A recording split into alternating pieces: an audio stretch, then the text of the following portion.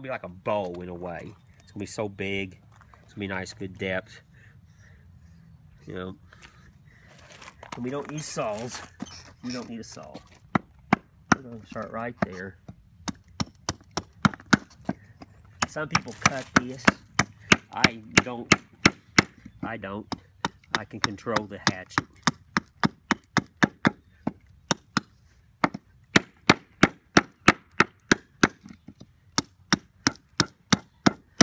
And in my eye, two sides should never be the same. Because it's not machine done. I like to make them just a tad, just, just, just however it falls, that's how it looks. It's good and sharp, ain't it? Mm-hmm.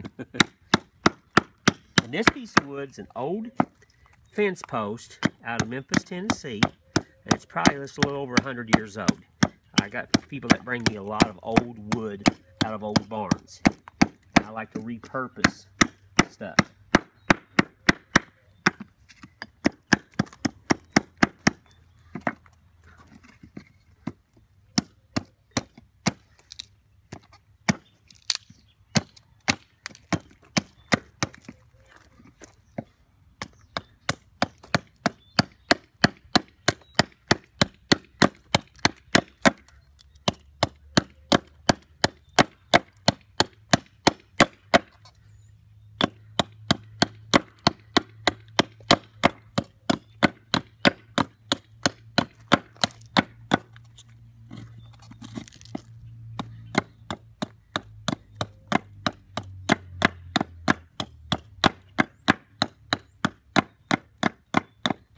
How I turn that?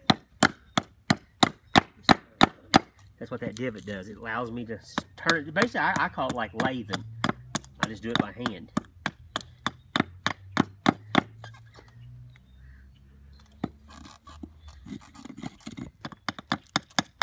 Yeah. It pins me rolling.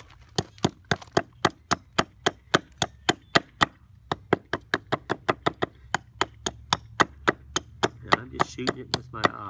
You know, that's just the way it was done.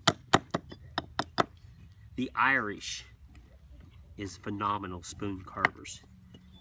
They, um, it's unreal what they do with them. They make some of the nicest tools. That's why I buy and order a lot of tools from Switzerland and Ireland because they're all handmade.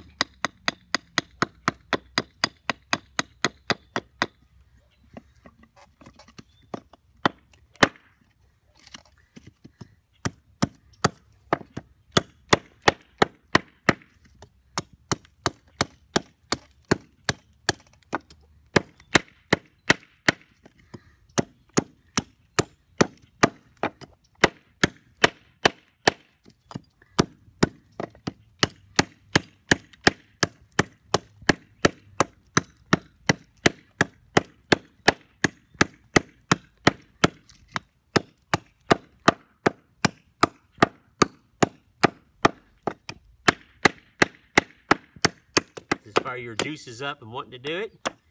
Oh, I love it, man. I do know a guy now that here in Tennessee has some original hatchets. They're a little heavier than this. They're broad axes and stuff, but they are very car. You, know, you can use them to carve with. I like this one because it's light. You spend about eight hours with a hatchet, know you've done something. And I've got over 40 years in doing this, of carving and stuff. And it's just, it's still hard on my hands. As I get older, it gets a little harder. It doesn't have to be perfect, you know? That's the thing.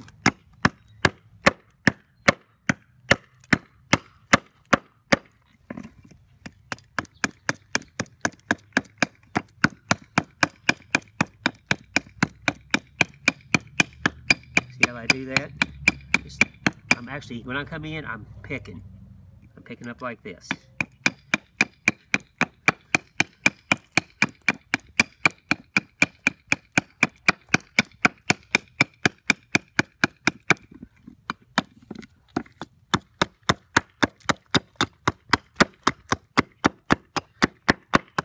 I'll be thinning the handle down here in a minute.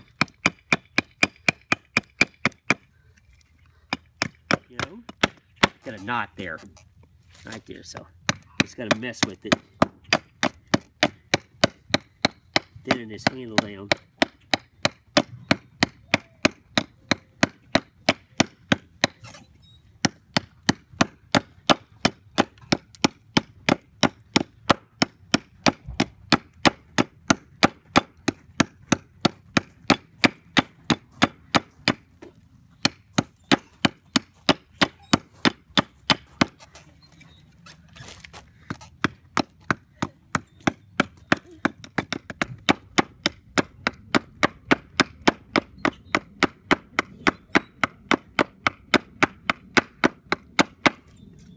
See the handle?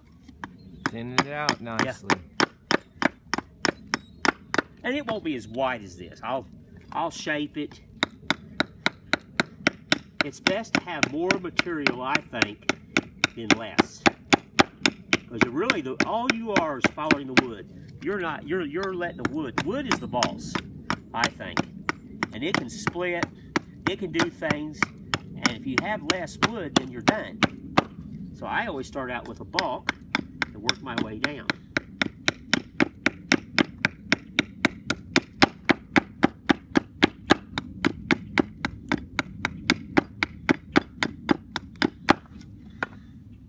Cool. I mean, I see it, but most people, if you're starting out, you know, you know, you just got to think that there's a bow, or there's something like this. There's your bow. That's all you need. I see it in my head.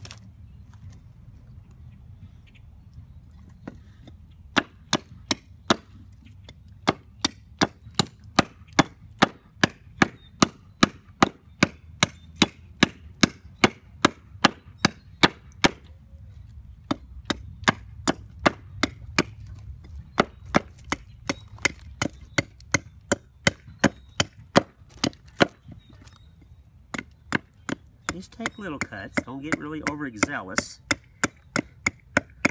Just shape it.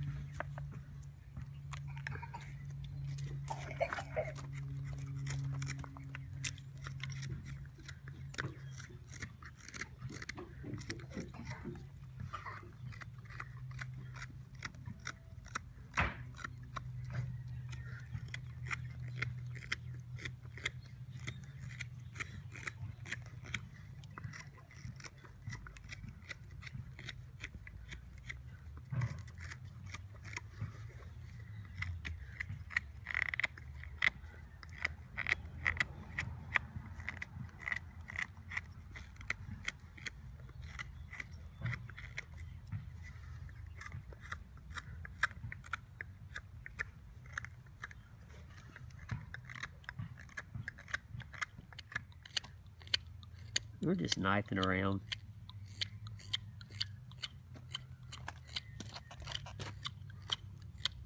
Do a little shape. Getting what what you call a rough end. Yeah, it's just very roughed in. It will change over and over. Uh, when I start bowing it, you want to leave it thick. Don't ever take, some people bow first. I don't. I like to get the shape and it tells me a lot Mhm. of things.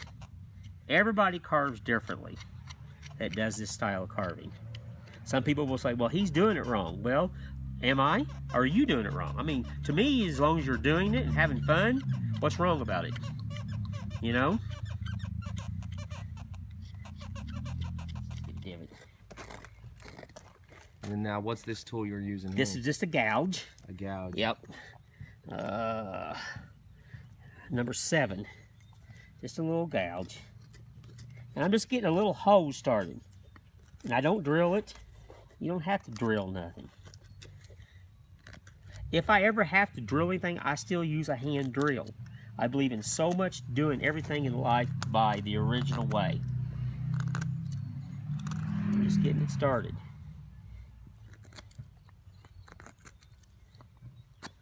I can't use an adze on here because it's too small. If it was a bigger bow, you would use the adze and chop it out. But you can't use that. And I brought out a different spoon too. This is called a love spoon. That's all cut with a knife. They're love spoons. They're not to be eat. You know, you don't eat with them. They're for decoration. And that has a lot of wormholes in it because it's very old. It's just a piece of rotted wood and I carved it anyway.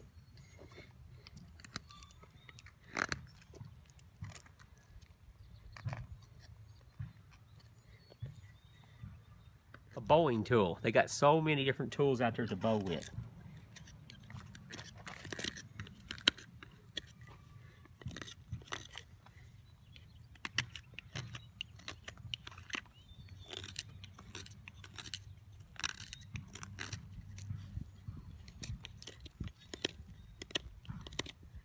running into a knot. Normally you don't want wood with knots, but I take anything. I'll take anything to carve with. It doesn't really matter.